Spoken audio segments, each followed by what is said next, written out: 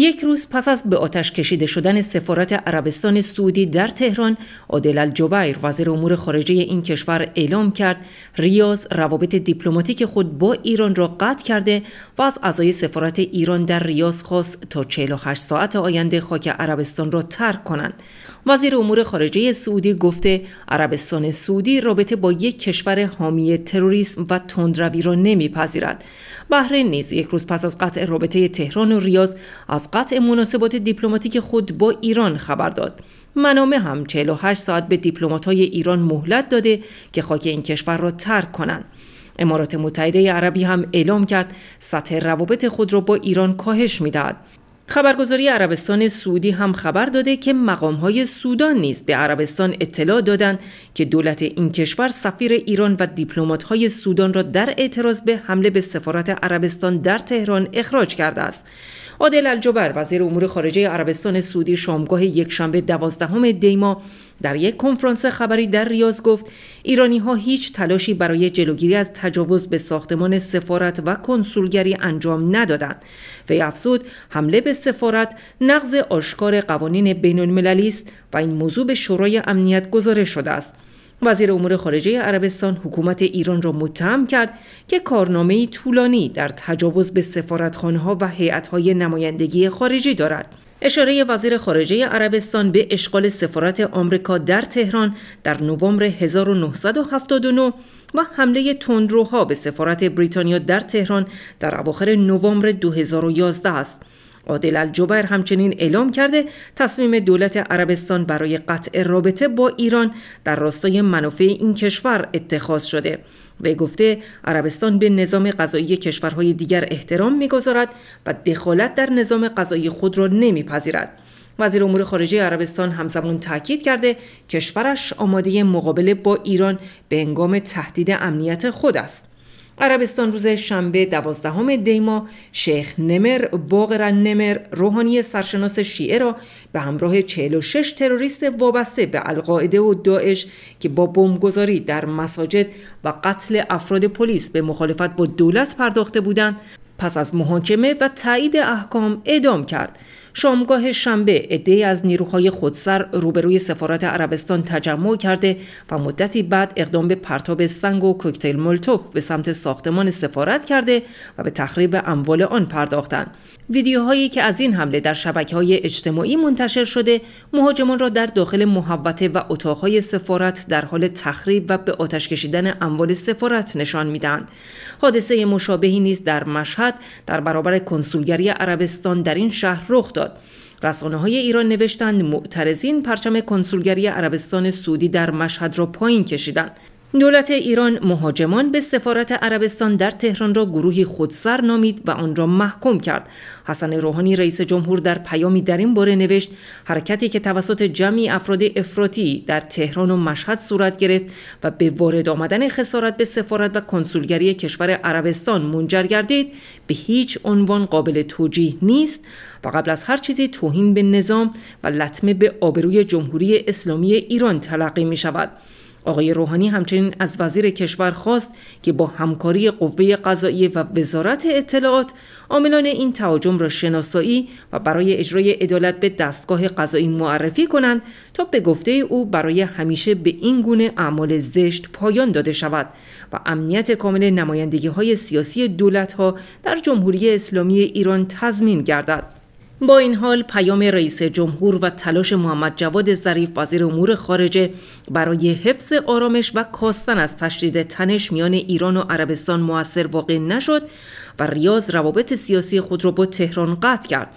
برخی رسانه های ایران حمله به سفارت و کنسولگری عربستان در تهران و مشهد را گل افراطی ها به خود توصیف کرده و نوشتند این حملات موجب شد که خبر ادامه شیخ نمر از صدر خبر رسانه های جهان کنار رفته. مجای آن را اخبار حمله تندروهای حامی حکومت ایران به سفارت عربستان در تهران بگیرد.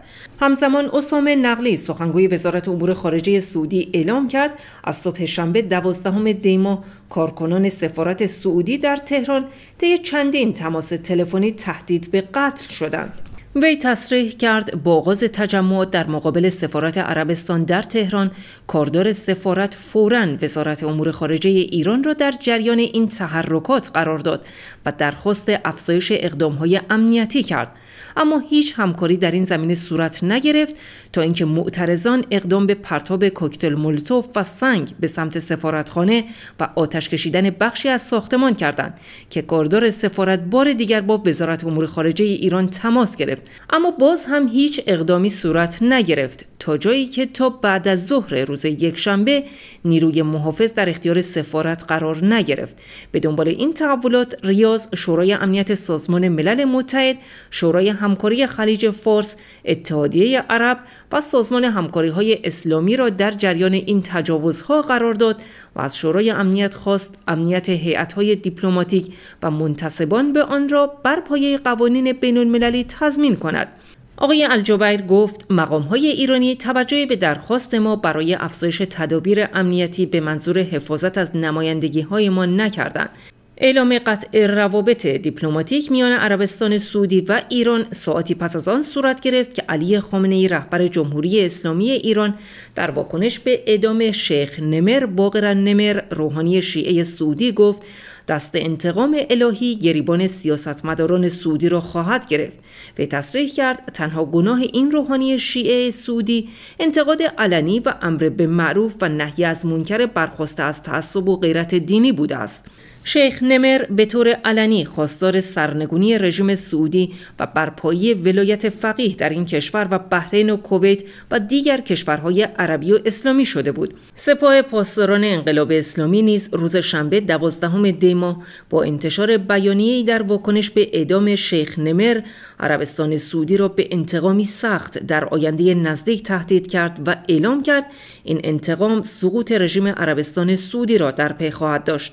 در واکنش به تهدیدهای سریع حکومت ایران وزارت امور خارجه عربستان سعودی روز یکشنبه 13 دی با انتشار بیانیه اعلام کرد جمهوری اسلامی ایران که طی سال گذشته میلادی بیش از 1100 تن را اعدام کرده و بالاترین شمار اعدام ها را در جهان درست آخرین رژیم در جهان است که می تواند دیگر کشورها را به نقض حقوق بشر متهم کند.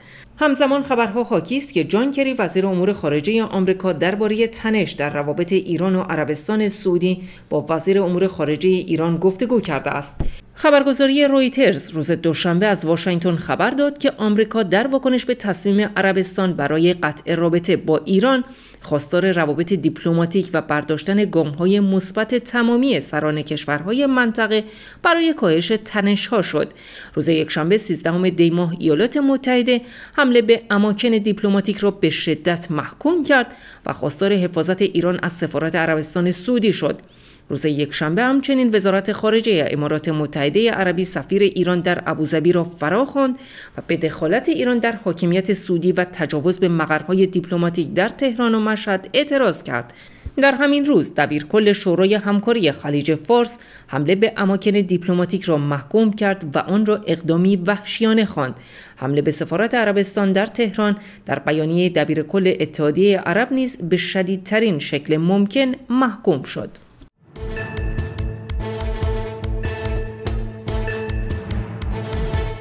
محمد جواد ظریف وزیر امور خارجه ایران و فدریکا موگرینی مسئول سیاست خارجی اتحادیه اروپا روز یکشنبه 13 دی ماه طی گفتگویی تلفنی توافق کردند که هر گونه تلاشی صورت گیرد تا شرایط حفظ و کنترل و جلوی شدت گرفتن تنش‌های مذهبی گرفته شود.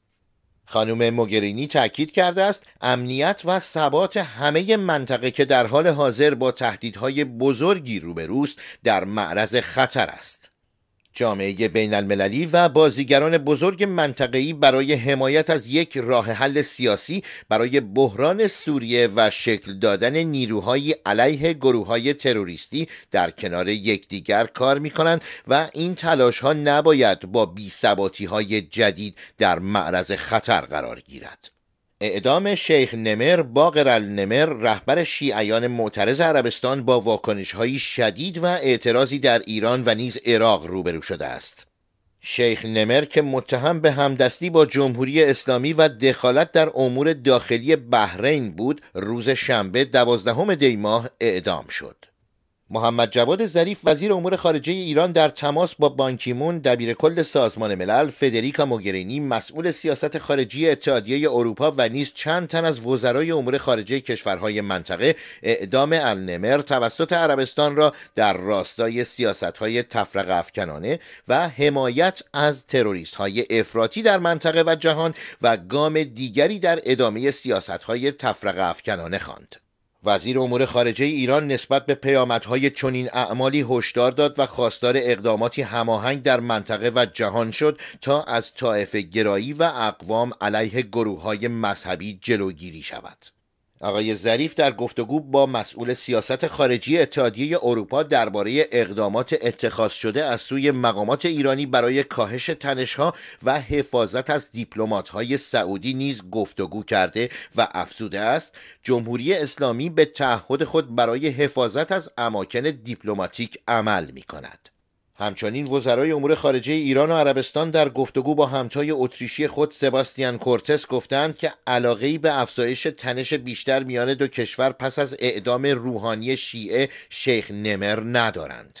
با وجود این و علا رقم آنکه مقامات مسئول پس از تجمعات پرخشونت روز شنبه در برابر کنسولگری و سفارت عربستان در مشهد و تهران هر گونه تجمع مقابل نمایندگی های سیاسی عربستان را ممنوع اعلام کردند. تجمع معترضان به اعدام شیخ النمر در ایران در روز یکشنبه ادامه یافت.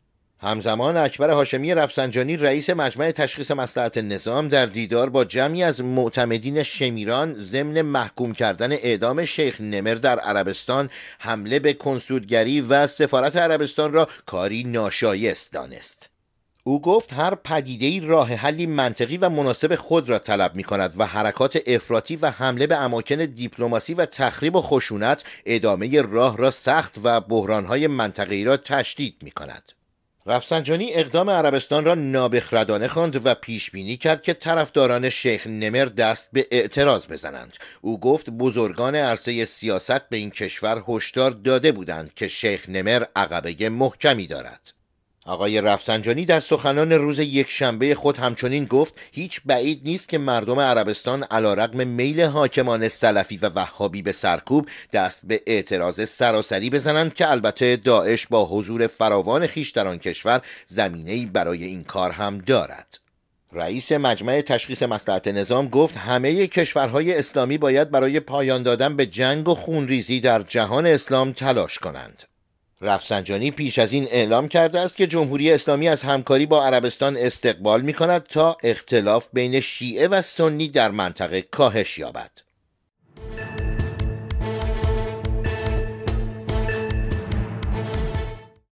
حسین جابر انصاری سخنگوی وزارت امور خارجه ایران را متعهد به کنوانسیون های بین المللی در قبال اماکن دیپلماتیک دانست و گفت ایران به این تعهدات عمل کرده است اما عربستان نه تنها منافع بلکه حیات خود را در ادامه تنش می‌بیند.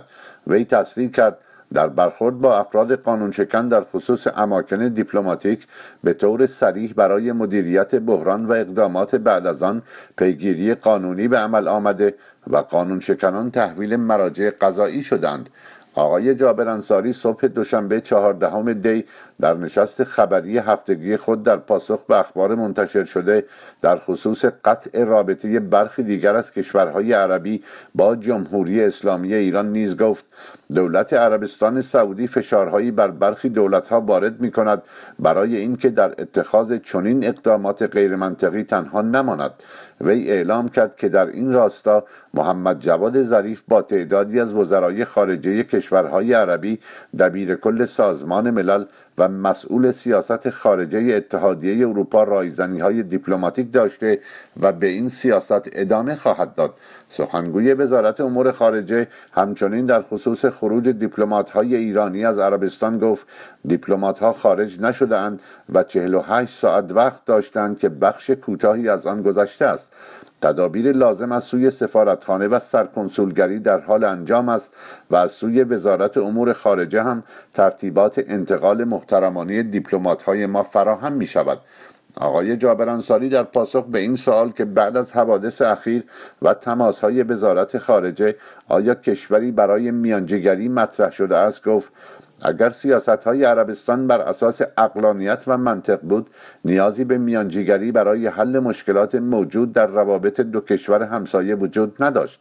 تا زمانی که سیاست های عربستان بر این بنیان استوار است هیچ امکانی برای تحول در رابطه وجود ندارد.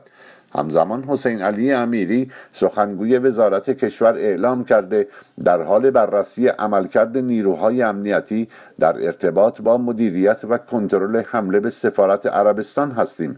آقای امیری تصریح کرد آنچه رخ داد باعث تأسف است و آقای رحمانی فضلی وزیر کشور بر اساس وظایف ذاتی خود و همچنین تأکیدات رئیس جمهور دستور دادند که آمران عاملان مباشران و کسانی که در کنترل این قضیه قصور و کوتاهی کرده آن شناسایی شوند. این مقام مسئول در وزارت کشور تأکید کرد آنچه که برای سفارت عربستان در تهران رخ داد نباید برای سایر نمایندگی های خارجی در ایران دقدقه و نگرانی ایجاد کند.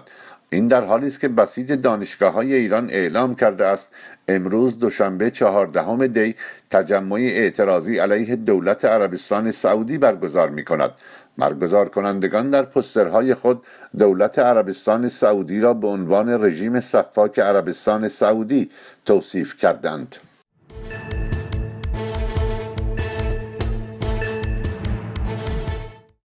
غلام حسین محسنی اژه‌ای سخنگوی قوه قضاییه ایران اعلام کرده که تاکنون سندی مبنی بر بازداشت سعید زینالی به دست نیامده است. خانواده سعید زینالی پیش از این اعلام کرده بودند که مقامات قضایی بازداشت فرزندشان در سال 78 را تایید کردند.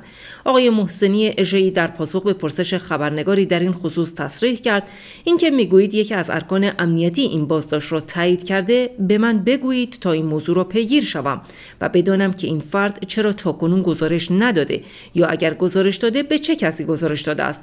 به تاکید کرد امکان ندارد کسی بازداشت شود و این بازداشت مکتوم بماند و یا بتوان آن را پنهان کرد. خانواده سعید زنالی اعلام کردند که او صبح روز 23 تیر ماه 78 چند روز پس از حادثه حمله به کوی دانشگاه تهران هنگامی که 22 سال سن داشت در حضور مادرش دستگیر شد و از آن تاریخ اطلاعی از وضعیت او در دسترس نیست. نیست. خانواده آقای زینالی پیش از این بارها اعلام کردند که نهادهایی مانند دادستانی و نیروی انتظامی پذیرفتند که فرزند آنها بازداشت شده و وعده آزادی او را دادند اکرم نقابی مادر سعید زینالی پیش از این در مصاحبه با سایت روز آنلاین گفته بود آقای تورج معاون زندان اوین به او اعلام کرده که پسرش تا سال 81 هم در زندان اوین زندانی بوده. هاشم زینالی پدر الناز زینالی خواهر و اکرم نقابی مادر سعید زینالی در سالهای گذشته بازداشت شدند. آنها پس از آزاد شدن اعلام کردند که نیروهای امنیتی در بازجویی ها از آنان خواستند که پرونده سعید را پیگیری نکنند. در آخرین مورد هاشم زینالی پدر سعید روز شنبه سیوم آبان ماه و در یک تجمع در مقابل زندان اوین به همراه چند نفر دیگر بازداشت و پس از چند روز آزاد شد. بر اساس گزارش ها در 18 تیر 78 نیروهای پلیس و نیروهای موسوم به لباس شخصی به خوابگاه دانشجویان دانشگاه تهران حمله کردند. مقامات جمهوری اسلامی تنها قتل عزت الله ابراهیم نژاد فارغ التحصیل رشته حقوق از دانشگاه چمران اهواز در این حادثه را پذیرفتند اما فردی در ارتباط با قتل او دستگیر نشد. با این حال برخی از گروه های سیاسی از جمله دفتر تحکیم وحدت اعلام کردند که در این حادثه افراد دیگری نیز کشته شدند. در همین حال علی اکبر موسوی خوینی نماینده مجلس ششم پیش از این گفته بود فرشته علیزاده دانشجوی دانشگاه از زهرا در پی حوادث کوی دانشگاه تهران رو بوده و ناپدید شد آقای محسنی اژه‌ای در این کنفرانس خبری همچنین خبر داد برخی های آمریکایی برای مبادله جیسون رضاییان خبرنگار زندانی واشنگتن پست در تهران تماسهایی با های ایرانی گرفتند سخنگوی قوه قضاییه ایران به جزئیات این تماس ها اشاره ای نکرد. روزنامه بریتانیای گاردین نیز گزارش داد که در واکنش به گفته های آقای اژه‌ای با یک مقام آمریکایی تماس گرفته اما او از اظهار نظر خودداری کرده است. جیسون رضاییان خبرنگار واشنگتن پست در تهران از تیر ماه سال گذشته به اتهام جاسوسی و اقدام علیه امنیت ملی زندانی است. اما این خبرنگار و همچنین روزنامه واشنگتن پست این اتهام ها را رد کردند.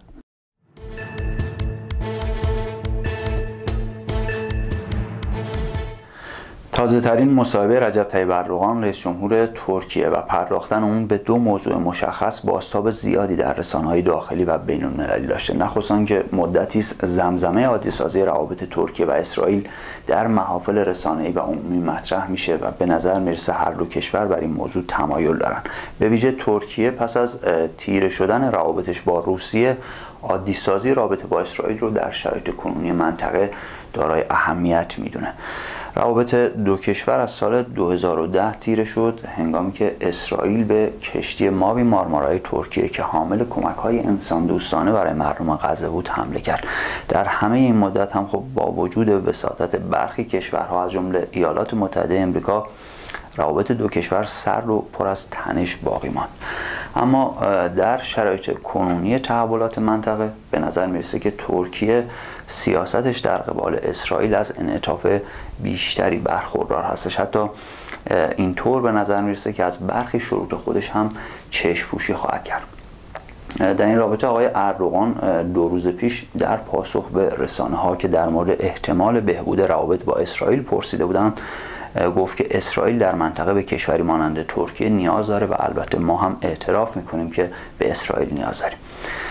اما اظهار نظر دیگه آقای اردوغان که این روزها خیلی خبرساز شده مطرح کردن بحث تغییر سیستم سیاسی ترکیه است. از مدت ها قبل می‌دونیم آقای اردوغان و حزب عدالت و توسعه تاکید دارن که باید یک سیستم ریاستی جایگزین سیستم سیاسی کنونی ترکیه بشه که البته تا کنون سه حزب بزرگ دیگه ترکیه با این موضوع شدیدا مخالفت کردن. منتها این بار آقای اردوغان در توضیح این سیستم سیاسی و تاکید بر آنکه ترکیه نیازمند چون این سیستم سیاسی هستش. قیاسی رو مطرح کرده از دوران هیتلر و گفته که سیستم ریاستی از قدیم وجود داشته از جمله سیستم ریاستی آلمان هیتلری. خب بلافاصله برخی سخنان آقای اردوغان رو در واقع تمجید از سیستم سیاسی هیتلر تعبیر کردن. اگرچه سخنگوی دفتر ریاست جمهوری ترکیه با صدور بیانیه عنوان کرد که منظور آقای اردوغان تمجید از هیتلر و حکومتش نبوده اما در این حال منتقدان که از مدتها قبل آقای اردوغان رو متهم به ایجاد یک حکومت فردی می‌کردن این سخن او رو در واقع استناد ادعای خودشون در این رابطه قرار دادن. و اما در مورد مهمترین خبر دو روز گذشته یعنی اعدام روحانی شیعه عربستانی شیخ نمر و پیامد آن تیرگی و تنش بیشتر در رابطه ایران و عربستان لحظه تنظیم خبر هیچ واکنش رسمی از سوی مقامات دولت ترکیه که اتفاقا سیاست های نزدیک به عربستان رو دارن دیده نشده. تنها ریاست دیانت ترکیه محمد گرمز سفری به عربستان داشته و با وزیر اوقاف و شؤونات اسلامی عربستان دیدار کرد البته این رو اشاره بکنم که محمد گرمز در واقع در ترکیه منصب سیاسی نداره و به نظر میسه این سفر از قبل هماهنگ شده. خود آقای گرمز هم گفته هدف این سفر همکاری علمی فرهنگی و تحکیم روابط دوستانه دو کشور هستش اما به هر روی آنچه روشن هست اینه که هم ترکیه و هم عربستان بارها نگرانی خودشون رو از توسعه نفوذ ایران با اهرام شیعیگری در منطقه ابراز کرده بودند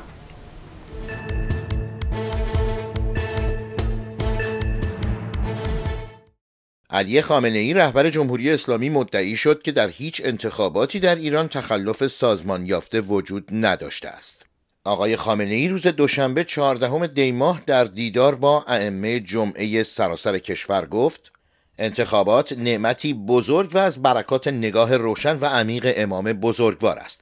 انتخابات را خراب نباید کرد. بعضی ها عادت دارند که از نزدیکی انتخابات دائم بر کوس نامطمئن بودن انتخابات بدمند. این خیلی عادت و مرض بدی است. انتخابات انتخابات سالمی است. از اول انقلاب تا به حال در انتخابات تخلف سازمان یافته مطلقا وجود نداشته و رفتار همه دولت ها رفتار مسئولانه بوده است. همزمان علی پورعلی مطلق دبیر ستاد انتخابات کشور گفت هیئت‌های اجرایی حوزه های انتخابیه سراسر کشور سهشنبه 15 دیما نتیجه بررسی صلاحیت‌ها را به هیئت‌های نظارت و داوطلبان اعلام می‌کنند. آقای پورعلی مطلق روز دوشنبه 14 دی ماه گفت جلسه نهایی بررسی صلاحیت داوطلبان انتخابات دهمین دوره مجلس شورای اسلامی در هیئت‌های اجرایی امروز دوشنبه برگزار و جنبندی ها صورت می‌گیرد و داوطلبان رد صلاحیت شده هفت روز فرصت دارند تا اعتراض خود را به هیئت‌های نظارت استان اعلام کنند. انتخابات هفتمین دوره همین دوره مجلس شورای اسلامی همزمان با انتخابات پنجمین دوره مجلس خبرگان رهبری هفتم اسفند ماه برگزار می شود. برای انتخابات دهمین دوره مجلس شورای اسلامی 12123 داوطلب و برای انتخابات پنجمین دوره مجلس خبرگان رهبری 801 داوطلب نام نویسی کردند. در همین حال یکی از اعضای شورای نگهبان تاکید کرده است حسن خمینی نوه آیت الله خمینی باید برای تعیین صلاحیت در امتحان کتبی شرکت کند. به گزارش سایت تابناک دفتر آیت الله مؤمن عضو شورای نگهبان درباره خبر منتشره در برخی رسانه ها مبنی بر اینکه این عضو شورای نگهبان خطاب به سید حسن خمینی گفته باشد که نیازی نیست وی در آزمون اجتهاد روز سهشنبه 15 دی ماه شورای نگهبان شرکت کند. اعلام کرد که چنین خبری صحت ندارد. در خبری دیگر وزارت ارشاد اعلام کرد هفته نامه یالسارات با رأی اعضای هیئت نظارت بر مطبوعات لغو مجوز شده است. هفته نامه یالسارات در مطلبی علیه شهیندخت مولاوردی معاون رئیس جمهوری ایران از او و برخی دیگر از فعالان حقوق زنان در ایران با تعابیری مانند فاحشه یاد کرده بود. الهام امینزاده معاون حقوقی رئیس جمهوری پیش از این از بررسی پرونده شکایت معاون امور زنان و خانواده ریاست جمهوری از روزنامه یالسارات خبر داد و رسما از این نشریه به دلیل مطالبی که خطاب به معاون رئیس جمهور مطرح شده بود شکایت شد.